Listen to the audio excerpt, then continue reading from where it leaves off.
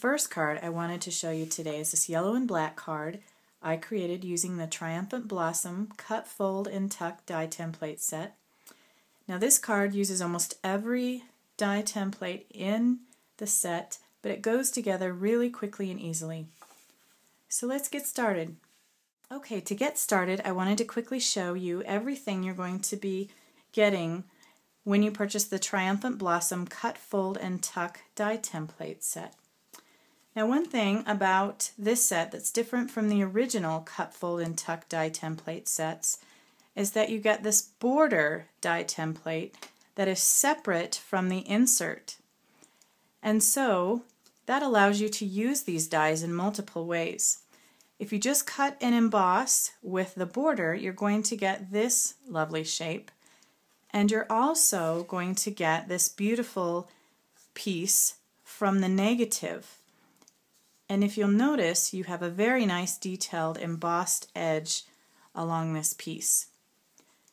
Now, if you decide that you're going to layer them and put the insert inside the border and cut and emboss, then you're going to end up with this beautifully detailed die cut. This has a lot of our cut, fold, and tuck techniques throughout this detailed piece.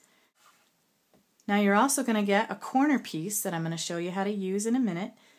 You're going to get this beautiful charm that you're also going to fold and tuck and then you're going to be getting a smaller square insert that also is cut, fold, and tuck. So let's get started. So to get started, I want to show you how I created this piece here.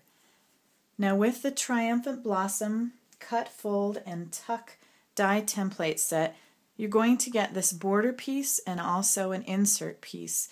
And we're going to need both of those to create this die cut here. So we're going to start with a piece of black cardstock. And then this is kind of a designer tip here. But we're also going to cut a piece of wax paper. Then we're going to put our border die on that and then also our insert and you can see that they fit really perfectly together. So we're just going to take a few pieces of removable tape and secure those so that the die templates won't move around. Now we're going to take our base plate and put the die down first with the cut blades up and then our wax paper and our black paper and then our cut plate and we're going to send that through the Grand Calibur. So we have cut our piece and now we're going to emboss with our embossing pad and our embossing plate and then sending that through the Grand Calibur as well. So this piece has been cut and embossed and you can see how easily the wax paper allows you to get the paper right out of the die template. So now you can see all the different pieces that are cut and embossed. So watch closely and I will show you the cut, fold, and tuck technique. The first thing you're going to do is just fold one of these over and then the next one and you're going to do this all the way around and then you're going to start tucking. Now the key is to make sure that when you're folding you're going all the way down where the cut lines are and folding right at the end of that. That really makes the process work beautifully. And then you'll also do the same on these beautiful pieces down here. So you're going to fold those over and carefully move on to the next one and fold that one over and then you'll just tuck that little piece right under that. Okay, you ready? Here we go.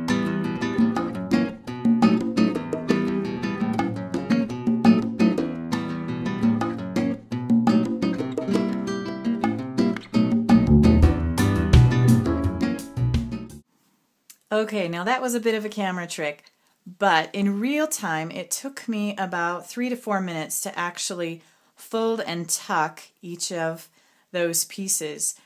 But imagine the work of trying to do this by hand with a craft knife. Um, these dies are very intricate and detailed, but give such a visual impact. Now I want to show you how I created these corner details on this black panel. I pre-measured a piece of black cardstock that will fit on my card.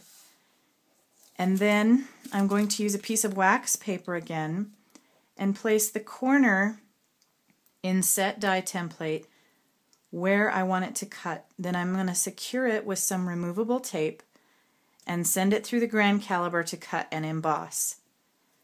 Once that side is complete, then you're just going to move the die template over to the other corner and cut and emboss as well. And now you're just going to fold and then you're going to tuck that piece and you're going to tuck that piece and then you'll get beautiful details and finished corners. Now I also used this square inset, cut and embossed, and then did the cut, tuck, and fold technique on this die cut, and also cut and emboss this die cut.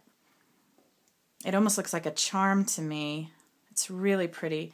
And also did the cut, fold, and tuck technique on this and tied a piece of twine through that. So I took the black piece of cardstock that we cut our corners out of and adhered that to the bottom of my card. Added some ribbon, tied this little charm on with some twine, and then we're just going to finish it off with our large die cut here in the center, and I'm just securing that with a 3D foam square. And then our square die cut that we have cut, folded, and tucked. And then we added a few pieces of bling. Now you could turn this really whatever way it visually is appealing to you. And that's really all there is to creating this Triumphant Blossom cut, fold, and tuck card. So the second card I wanted to show you is this quick and easy cut, fold, and tuck card using the Triumphant Blossom insert only. The way we're going to do that is we're going to cut a panel out of pattern paper and I like to use pattern paper that has a lighter color on the other side. Just gives it some more contrast. And then I'm going to place a piece of wax paper and then my die template. I'm going to lay this on my A base plate with my cut mat on top and send it through my Grand Calibur. And then I'm also going to use my embossing sandwich to emboss. And now we're just folding and tucking and folding and tucking. And you want to also do that on the outer edge. The trick is to make sure that you fold all the way down to the very end of those cut marks and then just tuck those pieces under the little tabs in front. So we're going to adhere that to the front of our card, add a bit of bling, and then some trim. So that's all there is to creating these Triumphant Blossom Cut fold and tuck cards. Thanks so much for joining me today.